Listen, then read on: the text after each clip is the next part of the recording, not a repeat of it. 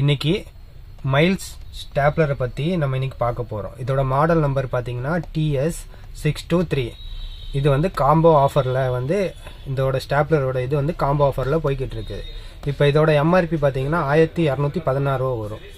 ஆயிரத்தி இரநூத்தி பதினாறு ரூபா எம்ஆர்பி ஆனால் இந்த இதோட ஆஃபர் வந்து உங்களுக்கு ஆயிரத்தி எண்பது ரூபா தான் இதோட ரேட் வருது. இதில் வந்து ஸ்டாப்லர் கூட ரெண்டு பின் பாக்ஸும் ஒரு நைஃப் வந்தும் இது கூட வந்துடும் நம்ம ஷாப்போட ரேட் பார்த்தீங்கன்னா நம்ம ஷாப் நேம் வந்து lion tool smart Coimbatore Nanjappa ரோட்டில் இருக்குது ஆனால் நம்ம ஷாப்போட ரேட் பார்த்தீங்கன்னா எயிட் ஹண்ட்ரட் ருபீஸ் தான் வரும். இதுக்குள்ளே இப்போ என்னென்ன இருக்குன்னு நம்ம இப்போ பார்க்க போகிறோம் ரெண்டு பின்னு. மேனுவலு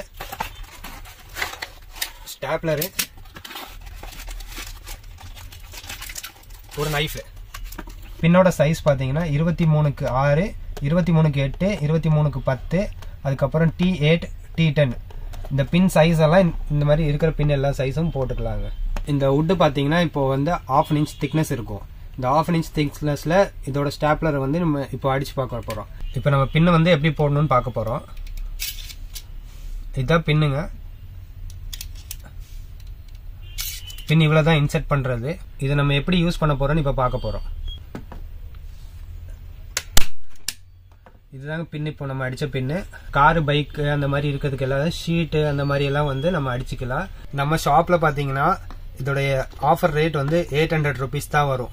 ஆனால் நீங்கள் இதே நமக்கு தெரிஞ்ச அமேசான் ஃப்ளிப்கார்ட் பார்த்தீங்கன்னா நம்மளோட பார்த்தீங்கன்னா hundred and hundred and fifteen rupees அது மாதிரி எக்ஸ்ட்ரா வச்சு தான் இது பண்ணிட்டு இருக்காங்க ஆனால் நம்ம கடையில் அதோட நம்ம ரேட் வந்து எயிட் ஹண்ட்ரட் ருபீஸாக தான் வரும். நம்ம ஷாப் எங்கே இருக்குன்னா லைன் டூல் ஸ்மார்ட் நம்ம ஷாப் வந்து கோயம்புத்தூர்ல இருக்கு. கோயம்புத்தூர் நஞ்சப்பா ரோடு அப்படின்னு சொல்லிட்டு நீங்க கூகுள்ல சர்ச் பண்ணாலுமே சரி நம்ம லைன் டூல் ஸ்மார்ட்ங்கிற நேம் சர்ச் பண்ண உடனே உங்களுக்கு அந்த லொகேஷன் எங்கங்கிறது கரெக்டாக காமிச்சிடும்